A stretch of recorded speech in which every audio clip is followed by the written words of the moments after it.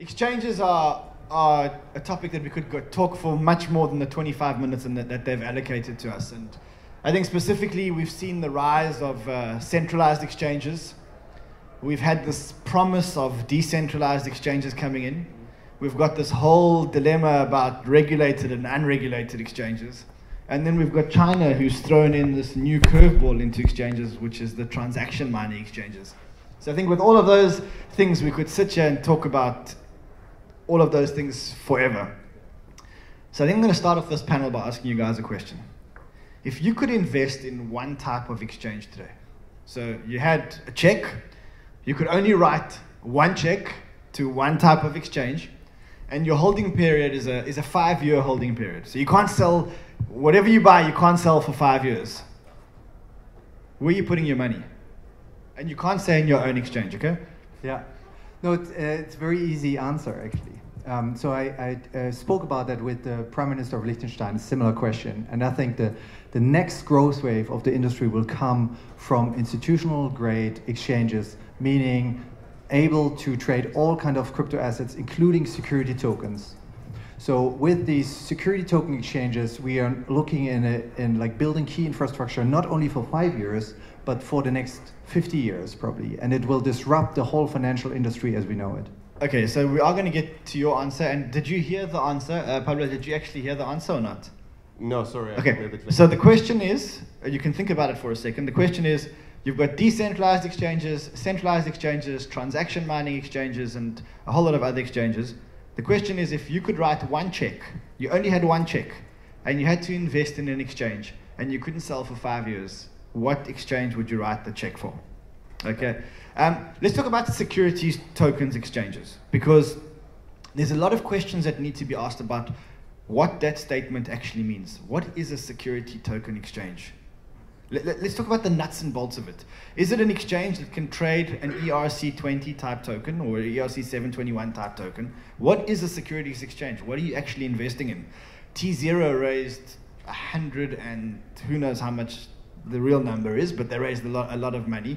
You've had a, lot, a whole lot of other money being raised. What is a securities token exchange? What makes it different from Binance?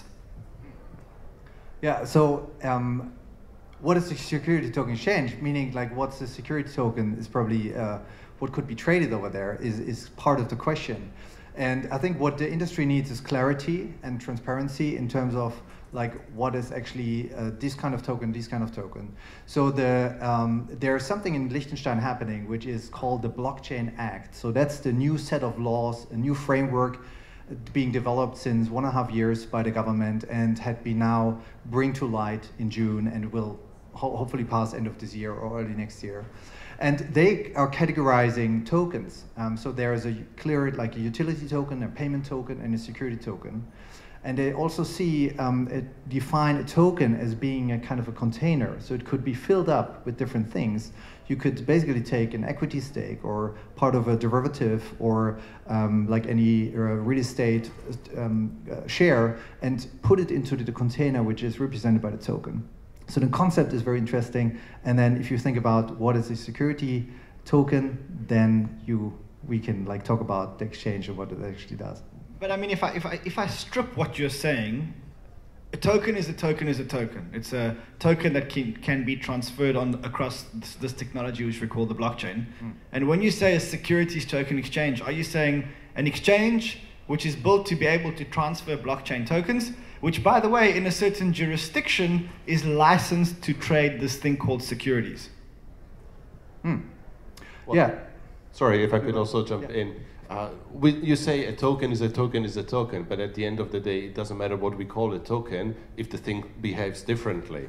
So I can very much understand this argument that to have a securities token exchange, a place where, okay, we have these tokens which behave in a very specific way that is generally considered to be a security. And that behavior is defined by regulation? At this moment, it's the American legislation that it's very much defining that. But question is, yeah, I mean, we can always ask, should we just follow the American legislation or are, uh, are there more legislations who also agree how a security behaves and then do based on more than just one legislation? So you're saying that you're going to write your check to a exchange that is built that allows the, the transfer of blockchain tokens, and by the way has a securities license regulation, uh, securities a regulated securities license.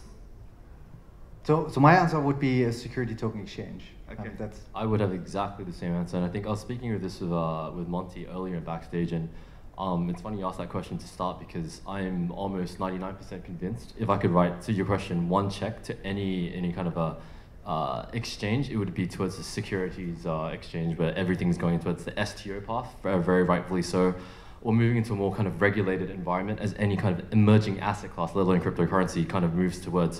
So that's the thing to your first question. And to your second thing around, you know, ERC20 or whatever kind of thing runs on the exchange, I think we're looking at different types of protocols. So if you look at Polymath and what they've done, and looking at the ST20 kind of uh, standards, to that, I think you know we come to a new kind of establishment. What is a securities token ex- offering or exchange? It's something that will be compliant, and the proprietary technology that goes into it is all going to be around you know what the SEC has come to agreement with, or kind of other um, first movers have already come up with, and um, you know has precedence rather that they are allowed to kind of subsist or exist within the regulatory framework and pass like you know Howey tests and everything like that for normal securities. Are we under the same assumption here that we think that very soon, w- w- not, let's not say very soon, but soon enough, all securities will be on the blockchain. Are we, one, are we saying that in 10 years' time there won't be a single type of security that is not traded on the blockchain? I think that's a good statement.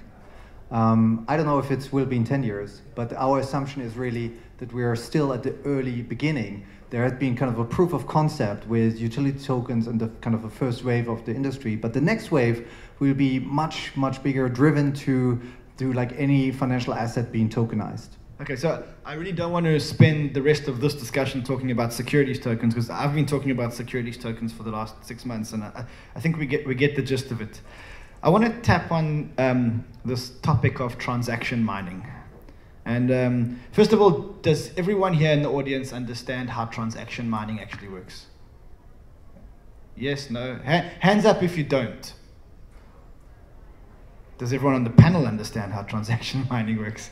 Okay, so transaction mining works by returning the fees that you paid to trade on the exchange back to the users.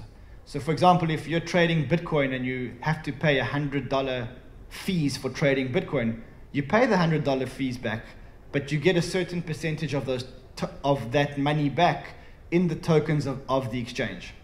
Now the tokens of the exchange give you certain rights. Some of these tokens give you the right to a percentage of the revenue generated by the exchange. Some of these tokens give you the right to allocate the next token to be um, put onto the exchange. Some of them give you general voting rights. Essentially, what they're doing is they're giving back the exchange to the people that traded on the exchange. So the more you trade, the more tokens get mined, the more tokens get given to you, and the more tokens you own, the more rights you have in the exchange. Um, these tokens have seen phenomenal returns. I mean, Fcoin, which was the poster child of all of this, had phenomenal returns. But since then, there's been a whole lot of others. There's BGoGo, there's uh, CoinPark, there's many other transaction mining exchanges by giving back the revenues of the exchange to the community, is this a sustainable model? Well, it's hard to say at this moment. So it's right at the beginning. So it's how will it behave when more people get into it? Because one thing is when you have the real core fans who are super excited with what, whatever idea you came with. Another thing is when you have when all of the sudden it becomes so popular that you have any kind of person coming in and just trying to break the model. So, uh, how the transaction mining systems work is they only mine a certain number of tokens. It's a, it's a finite number of tokens, which effectively means the people that trade on the exchange first get the majority of the tokens, and, and then they can sell the, sell the tokens in the open market. I've seen some transaction mining exchanges uh, give 105% of the, the money back and I've seen that those same type of exchanges buy back the tokens at 105% daily, which means that they really are putting their money where their mouth is. Now, again, do we think that that model is a sustainable model? From my perspective, I don't think it's a sustainable model. I mean, you look at the Fcoin model and you look at other variants that have come out, especially from our space in Asia, what we've seen a lot of the copycats come out. It's more a marketing tool and gimmick, in my personal opinion. So, I, to your question, I don't think it is a sustainable model. You don't think that a transaction mining exchange is is the answer to getting the community to trade an exchange that creates that network effect? Because I know that if I get revenues back every day by virtue of the fact that I hold the token, I'm going to get all my friends to trade on the same exchange, right? Correct. No, I completely agree. The, the angle I'm coming from is more like um, the way I think about it is this, right? Ultimately, in this current landscape, it may work because everyone's so focused on the trading aspect of it. But like anyone also knows, if you're looking at cryptocurrencies as a point of technology, if there's no real adoption for it and people are just trying to play it like a gimmick, it's not a sustainable model. Well, let's let's work under the assumption that we're working under the assumption that cryptocurrency will have adoption. We have to start at that starting point, um, and, and, then and then the question is, what is the future of exchanges? And is a transaction mining exchange a good investment? Should we be moving all our trading to transaction mining exchanges so we can start getting the tokens because we know about it early enough? Yeah, no, I don't think so. I, I also have to agree it's not a sustainable model. It's always good to integrate the community and incentivize them. But uh, I think where the future of a change is heading is not about incentivizing the community more, but rather increase the community and have like several ways of joining them. And that could be driven by either institutional investors coming in or creating substantial values for other people. Um, like you, you, see where inflation is very high, you always see jumps in um, where people flee into cryptocurrencies. And that's where I see um, the, the bigger opportunities to make that happen. And, and talking about incentivizing the community something, it's just like a minor topic for me. If you think in five years, it, it like it's might be might be gimmick or whatever, but it's so, not. So I'm going to challenge you on that, and and the reason is because I was initially a very big skeptic of of transaction mining exchanges. When I met the guys from Fcoin and I met the guys from BGoGo, I said, I mean, this is a fraud. This is blatantly a fraud. I then changed my tune to say it's actually not a fraud, but it's a very unsustainable model because you have an exchange that actually effectively has no revenues because all the revenues are paid back to, to the users. But as I dug more into the model, I actually think that the transaction mining concept around exchanges has done for exchanges what the utility token should do for networks. And it creates a community effect and a network effect that are second to none. And it puts the ownership of the exchange back in the hands of the community that are using it like a protocol. And for me, it seems like it's a, a very logical progression. And on top of that, I've done the mathematics, and the mathematics actually do work. From my point, I mean, first thing that would come to my mind with a transaction mining model where especially you get 105% is that uh, I, I, would just create a bot to do fake transactions all the time and make money out of that. And then, of, course, of course, then it looks like, wow, this uh, this exchange, uh, it's working so well. People are there trading. There, there's a lot of there's a lot of uh, what's the word? Uh, capital or there's a lot of liquidity going yeah liquidity going on but as soon as it would hit some cap as soon as there would be some restrictions i would stop and go somewhere else. Like if i would really think just economically speaking what would be my best economic interest this is how i would behave. And this is what am i from hearing this about these models i mean you say the, the, you've looked at the math and that it could work. I could consider a 10 20% return on the transactions and then making the whole ecos- ecosystem. Maybe but one where we give more than what the what the it's only for certain, is. it's only for a certain period of time and of course the, the graph the, the graph then equalizes i think we, we are running a little bit short on time and i don't want to spend the whole discussion around transaction mining i think um, the takeout for me certainly was the more research i did into the concept the more actually f- I went from being an absolute skeptic saying this is a. I'll never forget. I stood in front of one of the guys from FCO and I said, "You guys are blatant scammers," and they actually weren't. They're actually running. Uh, they're actually running a, a concept, or they're pioneering a concept that might work. I do want to talk about a, uh, the other category of exchanges, which is the decentralized exchanges. So last year, decentralized exchanges were the flavor of the month. Why? Because the centralized exchanges were getting hacked. We had a whole lot of big hacks in a row, and everyone said, we don't want to store our money on the centralized exchanges. We'd rather trade from wallet to wallet. And we had a, a couple of decentralized exchanges um, start being developed. And I haven't heard about a decentralized exchange forever. I mean, I, I've been trying to see where the volume is. I see IDEX is doing okay. But what is the future of these decentralized exchanges? Does the community really want to store their tokens in a wallet and match them peer to peer? Or are we going to just move to a world where we have centralized exchanges which are insured? In other words, if they do get robbed, if they do get hacked, then there's insurance, like banks today. Um, I think my perspective on that is you're, you're, you're right. I think we move towards a model where it's become, it becomes more centralized, unfortunately, just because of a liquidity issue. That liquidity issue is that I'm not sure if you've ever tried trading in a decentralized uh, thing. I've tried it several times, and it's it's very frustrating from a user point of view to actually be able to get any decent liquidity to do any kind of trades, even on the IDEX side. Because there's no adoption and because there's no volume. Exactly. But but in that spirit, you have uh, applications like Totle T O T L E, and Totle basically allows you to buy with one button to buy across all decentralized exchanges. So it's an aggregator of liquidity. So it's a function of uh, it's a function of um, liquidity which is a function of adoption of decentralized exchanges. And I think the question that I'm asking is, does the user want the his tokens to live in his own wallet and not to live on the exchange? Or is he going to be comfortable with his tokens living on an exchange and being insured? I want to add one caveat to that. Let's talk about the institutional investor. Let's talk about the day when, when the big institutions get onto blockchain. Are they going to want to trade in a centralized insured exchange? Or are they going to want to manage their own wallets and trade peer to peer? Well, I think that this is um, it's one of the questions, but there's also a whole other bunch of questions in it. Uh, the the fact about customer service, about ease of access. Uh, these are all things where right now the decentralized exchanges have a harder time than the standard centralized ones, which is actually one of the things that we at Bexam are trying to uh, to tackle. This is why we're going for what we call hybrid exchange, a, hy a, hybrid solution where we try to take positive elements both from centralized and decentralized exchanges as sort of a halfway, something that would that could that would bring the security from decentralized trading, but not making it so inaccessible for new traders. So recap for me, what are the advantages of a decentralized exchange?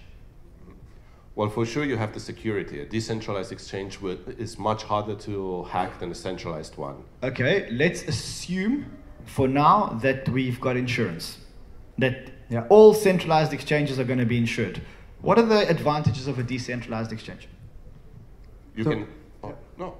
I, I think the, the question here is completely right. So, um, but sometimes we have to um, take a step back and see like how the industry evolves. Um, and the concept of a decentralized exchange gives a lot of power to the ones who are trading with it, so they can be their own kind of custodian service.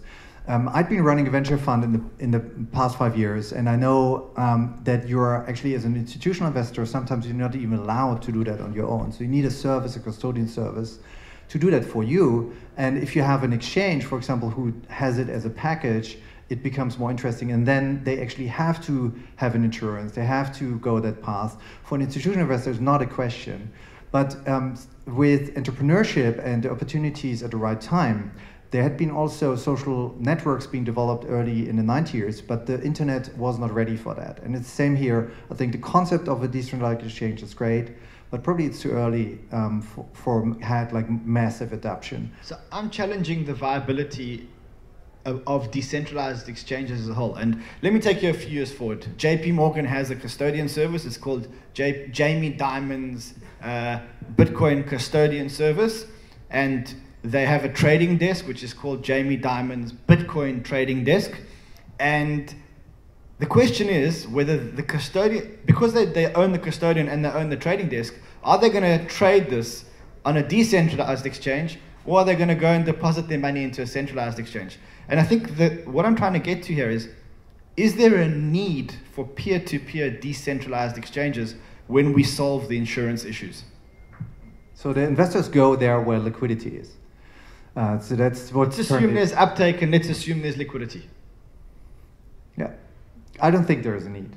uh, for that. At, at, at, least not now. And I'd, um, also with the institutional investors we investors we speak to, and my own perspective is they're they're, they're not even allowed um, with all the hurdles they are facing. They're all super interested to go in crypto assets, but they're facing all these regulatory issues. They, they're like barriers to entry for them. So to get them down, it's much easier to do that with a centralized model. Um, maybe later decentralized, but at the moment I don't see relevance for that. And, again, I, need to ask the question: Is the only advantage of a decentralized exchange that they don't hold your funds in, in, in one in one one basket? I wouldn't say so. So another advantage that I see of decentralized exchanges is that they they don't have a central server. They don't have a place, a one point of failure where you can go and hack, which is a standard place for, which is a standard thing for a more centralized institute, but they have it spread it around about multiple computers who help run the exchange. I think the idea of having a node server and then all of a sudden your computer goes off, but all the others around keep running the exchange, I think it's a very positive point. But that and the, and the beauty of the of a decentralized exchange, actually, in the concept, can be very powerful because we could create really a global financial market for the first time in history. So that's actually the, where we could end up having really not only a Nasdaq in New York and London Stock Exchange or an Australian Stock Exchange, but really having a global market who dominates it, and that's that could be uh, like a decentralized exchange. But as said, probably not now. Great. So we've got a few more minutes, and I think one of the topics that I've certainly heard here a lot today, and I think you guys have heard it as well, is that everyone here is very positive on non-fungible tokens and collectibles, and it seems to be that there's going to be a big race between what's going to be the flavor of 2019, whether it's going to be NFTs or security tokens, and 2019 will tell us that. Where are we going to trade the, the non fungible tokens? If I'm holding a, a football card of, of one of my favorite football players and I'm holding this in the, in the form of a digital, digital token, where do I trade this thing? Frankly, I think the NFT will be a very niche market. So if you if I'm a fan of let's say League of Legends, a game, and I want to go and trade my skins, then it will be a very specialized exchange that will allow me to trade the skins, but it will not be a global exchange where everyone will be involved and would like to go into it because the idea of football card or a game skin having a value is something that might be for many people very difficult to accept. Yeah. And okay, so I mean, again, we are running completely out of time. Any other any other comments around non fungible tokens? Are they going to be exchange traded, or are they going to be peer to peer traded on certain apps? I think there will be uh, a particular exchange doing that. And so what we are currently preparing is making um, like a bigger announcement around LCX and our key equity partners. And one of the partners are actually closely involved with one of the major project in that. So there will be experiments happening in that area. Okay, now, um, a few weeks ago, or a few days ago, I tweeted something on my Twitter. Um, my Twitter's at crypto man CryptoManRan. If you haven't seen it, giving myself a little push. If you had a check to invest at the same terms, so the terms of the one deal are the same as the terms of the other deal. Let's say you had a check of $100,000 to invest, and your holding period is a five year holding period. Would you put your money into Coinbase or would you put your money into Binance? Coinbase. elaborate. Will you give us your thinking? Yeah, for sure. Um, I just think I think where Coinbase is positioned and how they have that. Um, let, let, me put it this way: for Binance to turn, and I was having this conversation again with Monty just then, but for Binance to turn its direction for where it is now, it's a lot harder to do. And I think where Coinbase is actually positioned and built out the infrastructure in the in the back end it's it's from an infrastructure point of view as well as who's backing Coinbase. I think from the more Fed Reserve side of things, I think Coinbase would have a much better chance. So Coinbase is very highly regulated here in the United States. Um, they have very few tokens. You talk about an infrastructure that, that they've built. I'd like to understand what you mean by the infrastructure that you've built. Yeah, sure. So, so from from my perspective, right, I feel like that Coinbase, especially moving towards this kind of uh, like we touched on earlier, this STO side and everything and to your point, I think it's everything around regulation that gives it that uh, edge over Binance, especially for Binance to kind of turn around where it is now. I feel like it's a uh, it's it's like a behemoth that has already gained its marketing name, for it to then kind of take over, or for it in the next five years to change its marketing play or put its strategies and whatnot, I think would be a much more difficult game for it. Yeah, I think it's Binance. Um, and the reason why is agility and entrepreneurship. Um, I think the leadership team of Binance is one of the very legit players in the in the market. They want to get it right, but they also want to get it like quickly and fast. So they rather go to jurisdictions where they're welcomed, where they can work with them and create um, like a, a, group of companies, not only one, um, where they can do experiments um, and learn and see how it goes in a very legit and in a good way. So one of the experiences actually with us in Liechtenstein, so that's Binance uh, the fiat gateway which has been announced in, um, in this uh, August. So, and, and we will be like one of these group companies where we figure out what's the right way. So, and I think they're taking the path of like being the agile player in the market uh, rather than Coinbase who are trying to get it right right from the beginning. But sometimes um, it's you have to be quick and then make it right at, at a later point of time. I knew I shouldn't have asked you because I, I, actually forgot that you were the Binance partner. Paulo, I'm looking at you. So do you take your $100,000 and put them in Coinbase or Binance? I know we're out of time, so I'll keep it short. No comment. No, no, no, that, that, that, that's a chicken shit approach. Come on, Coinbase or Binance and what? I, I don't like the offer of uh, you have to choose between these two big players. I, if I had a 100,000 check, I wouldn't go and look into the big ones. I would go and look into the new opportunities. And which new opportunities in exchanges would you put your $100,000 in? Well, of course, I cannot say our opportunity because that would be too cheap. No, I would really look at someone who's doing things differently, who's there adopting themselves to what the market is uh, demanding and uh, who, who's there out to grow and to develop. And that someone is? Well, as I say, I cannot say ourselves, Bexam. All right, guys, thank you. We're all out of time. Thank you very much.